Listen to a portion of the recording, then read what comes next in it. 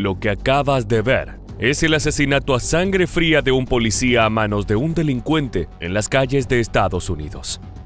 Y aunque pueda sorprenderte, feroces escenas como esta son moneda corriente para los ciudadanos.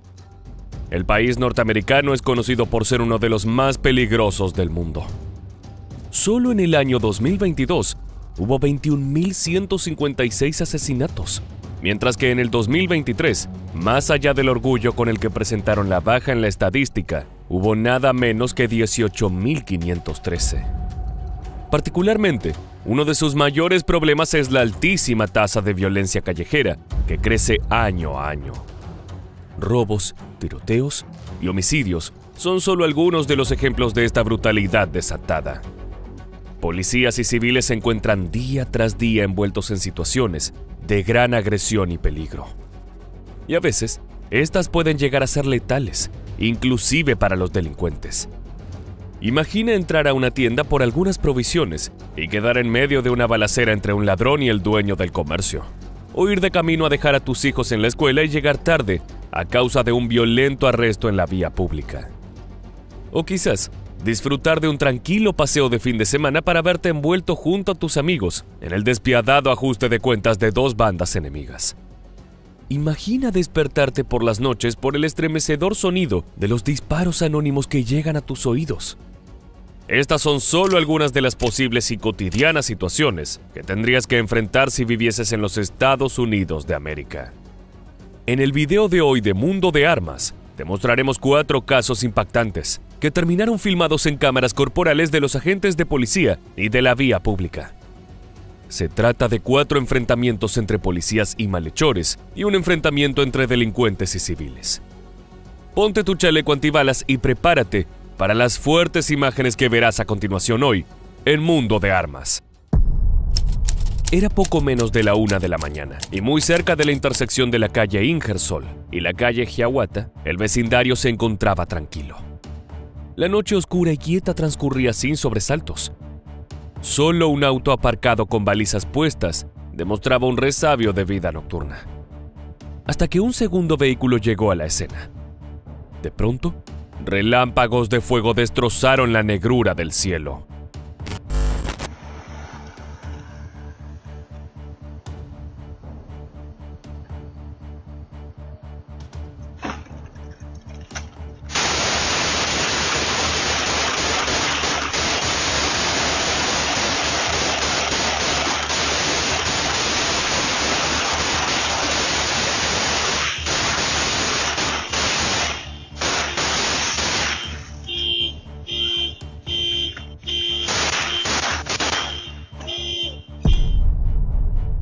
Este video que acabamos de ver fue captado por una cámara de vigilancia doméstica, instalada en el porche de un residente del lugar.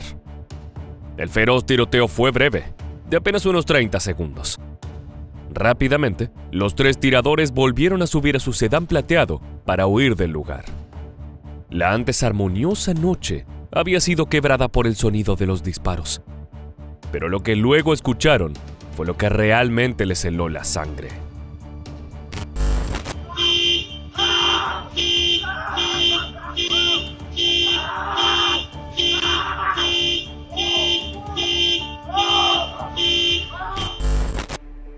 Al llegar la policía, encontraron las terribles secuelas del incidente.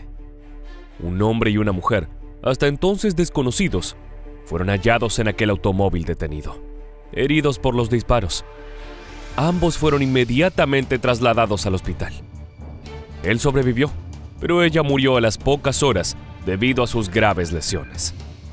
Tras su muerte y con la investigación comenzada, la identidad de la fallecida no tardó en revelarse.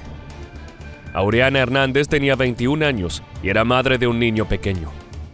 Su familia declaró no saber qué provocó el ataque. El suceso parecía no tener ninguna explicación.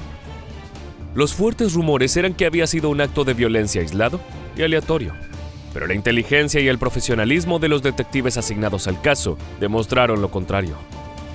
Unos días después del tiroteo, fue apresado Johnny Sincere García IV, de 17 años, quien fue imputado con el cargo de homicidio. Según pudieron averiguar los investigadores, García y los otros dos tiradores no identificados estaban detrás de la víctima masculina que acompañaba a Oriana Hernández por un posible ajuste de cuentas. Desde entonces, García permaneció en la cárcel del condado de Dallas, esperando su proceso penal bajo una fianza de un millón de dólares. Eran alrededor de las 5 pm, cuando los oficiales de policía de Fort Worth recibieron una llamada reportando un automóvil robado. Inmediatamente pusieron manos a la obra para localizar el mismo, a través de cámaras de tránsito y de agentes de patrullaje en la vía pública. Su búsqueda rindió fruto a los pocos minutos, cuando un vehículo policial avistó la matrícula del coche virlado al oeste de la ciudad. Los agentes comenzaron a seguirlo, intentando en todo momento detener al perpetrador del crimen. Sin embargo, el hombre continuó manejando como un maníaco por las calles de la ciudad, sin hacer caso a las voces de alto de las fuerzas policiales.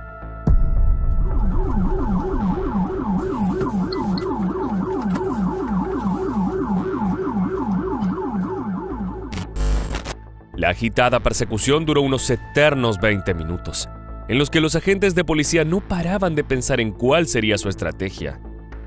Cuando ambos vehículos llegaron a la intersección de la calle 28 y la avenida McKinley, las fuerzas policiales hicieron su movimiento. Decidieron disparar hasta inhabilitar al coche y de una vez detener al fugitivo en su carrera mortal.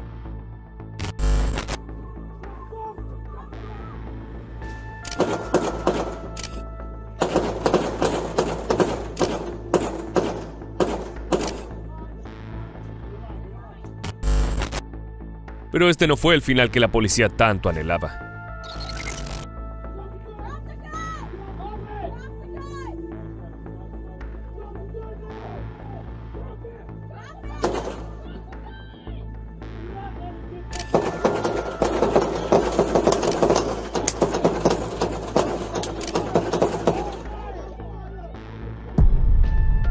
El accionar del delincuente los dejó atónitos.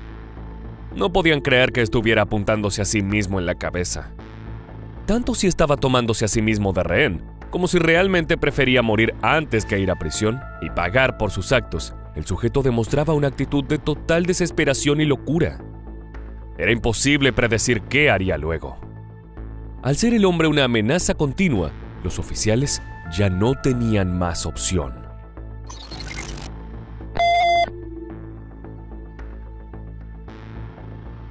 Traffic. Shots fired. We have one gun.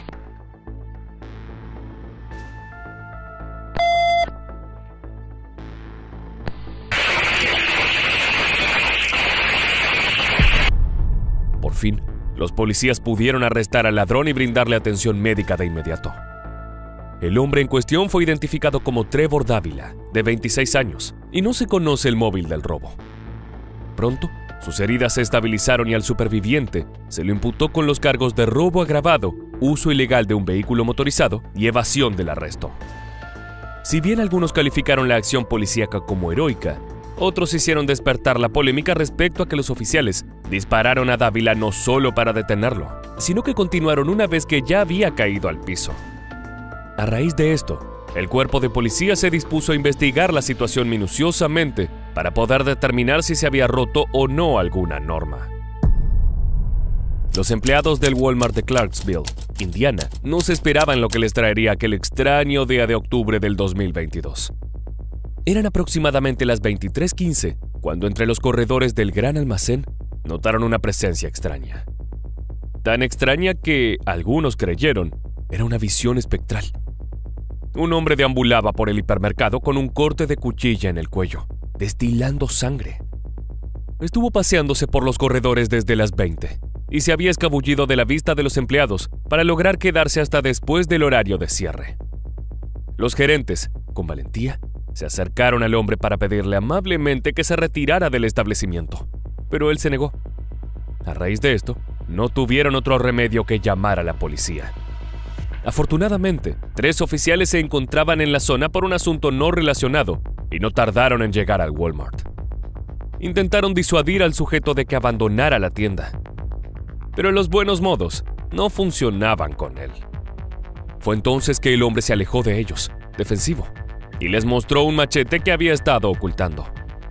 La policía volvió a intentar acercarse por las buenas, pero no se imaginaban que el desequilibrado volvería a intentar atacar. Y él no se imaginaba el error que cometía.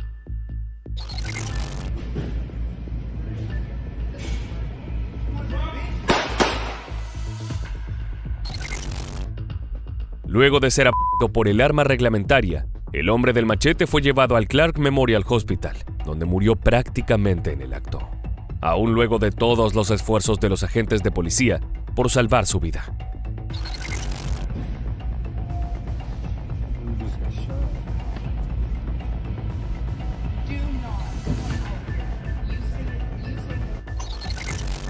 El loco del machete fue identificado como Daniel Scott, de 30 años. Ante la atención de los medios a su enigmática figura, la joven Jasmine Walls, hermanastra de Daniel, dio la cara. Walls llamó a Scott un hermano amable y cariñoso y pidió que no se lo estigmatizara, ya que era un buen hombre que había estado entrando y saliendo de situaciones problemáticas desde la muerte de su padre, hacía dos años. La madrugada de aquel domingo mantenía las calles agitadas de la noche del sábado precedente. La policía de East Flatbush, Brooklyn, patrullaba esas horas previas al alba con el conocimiento de que en cualquier giro, en cualquier esquina, el paisaje podía cambiar de menos jóvenes divirtiéndose por el fin de semana a violentas peleas de pandillas o ataques de criminales. Dos oficiales y un sargento recorrían la zona cercana a la calle 52 Este y Church Avenue alrededor de la una de la mañana, cuando notaron camuflado en el paisaje urbano a un hombre que apuntaba con un arma de fuego a otro, mientras se encontraban discutiendo. La policía inmediatamente salió del patrullero y le ordenó al hombre que soltara su arma, pero este se negó y comenzó a correr desaforadamente calle abajo. Así, la persecución comenzó.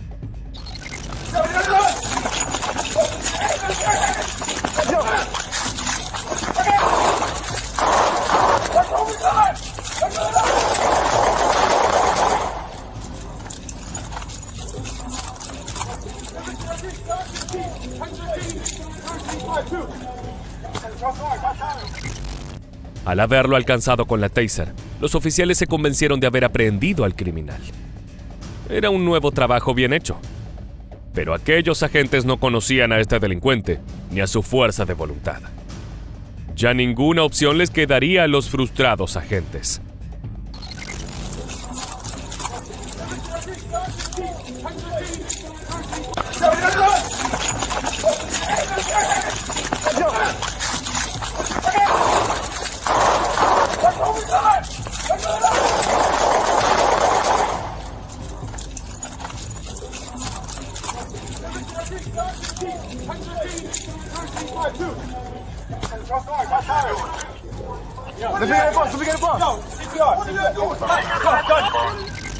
Con el delincuente reducido al piso, esta vez definitivamente por las balas de plomo, se llamó a los servicios de emergencias que lo transportaron al hospital del condado de Kings, pero allí fue declarado muerto. Lo más curioso del caso quizás es que una hora y media luego del accidente, otro hombre ingresó al mismo hospital con una herida leve, de rosadura de bala. Este hombre declaró haber estado cerca del lugar del tiroteo cuando algo lo hirió sorpresivamente. ¿Era un daño colateral de los disparos de la policía hacia el delincuente? Los detectives de la unidad policial constataron ante los medios que el hecho se pondría bajo investigación. A la fecha de publicación de este video, aún no se ha esclarecido el asunto. Más allá de las tremendas imágenes que nos dejan estos impactantes casos reales, hay una realidad que trae la violencia callejera y que muchas veces queda detrás de las cámaras. Los daños que sufren los vecinos aledaños a estos incidentes. Hemos visto cuatro ciudades, cuatro años diferentes, y sin embargo, para los habitantes estadounidenses, estos casos son moneda corriente. Comerciantes que pasan los días posteriores limpiando los vidrios rotos de sus tiendas. Hombres de familia que tienen que afrontar inesperados daños por balaceras en sus autos. Y hasta transeúntes que se ven apuntados por un arma en el medio de las persecuciones, lo que para ellos es un simple paseo nocturno. Más allá de las rápidas acciones de la policía para poder resolver las amenazas que perpetran los delincuentes a los ciudadanos, estos efectos secundarios de la pelea entre el crimen y la justicia siguen dañando a una población que se encuentra cada vez más azorada por el crimen. Hasta aquí llega el video de hoy en Mundo de Armas. ¿Quieres ver próximamente más fuertes imágenes reales sobre el mundo del crimen? Si te ha gustado este video y te gustaría recibir habitualmente este tipo de contenido en tu inicio, te invitamos a suscribirte al canal y activar las notificaciones para enterarte de todas nuestras entregas. Muchas gracias por acompañarnos en el video de hoy. Te saluda hasta la próxima, Mundo de Armas.